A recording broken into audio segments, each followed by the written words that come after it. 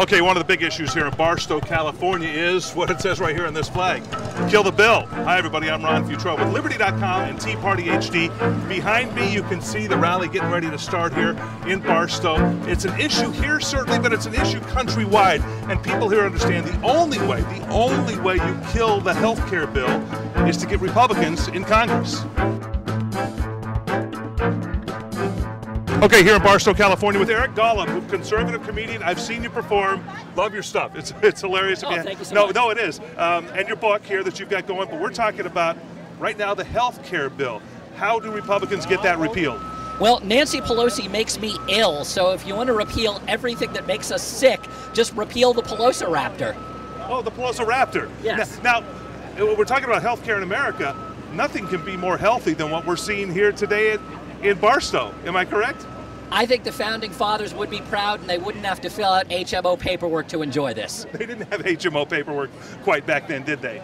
Well, Obama created it, so All right, Eric, thank you very much. Thank you. Perfect.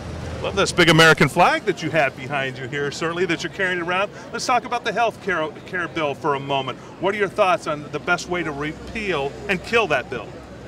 Well, the best way to repeal and kill it is to rep- uh, elect conservatives because they're not going to want the health care bill. They, we don't want anyone in charge of our health insurance and telling us what we should do. Health care.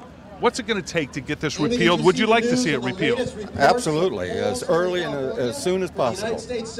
Repu- It's going to take Republicans, though, in Congress. The president isn't going to, even even if every Republican voted for it. Happen in the next for the next two years, uh, but what we can do is uh, hold off on the spending end, end of it uh, by voting no against any expenditures for the uh, for the bill. So the House could cut off funding, basically, if it's a Republican House. Yes, they can and they should.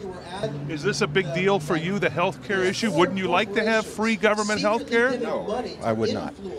So it's clear here in Barstow, the people here at this Tea Party event feel certainly with health care, there's a few things that have to be done. Number one, repealed if possible and as quickly as possible. Have Congress cut off the funding if that's able to happen. But certainly they do not like the third thing. They do not like the health care bill and feel that it's unconstitutional here. In Barstow, California, Ron Futrell reporting for Liberty.com and Tea Party HD.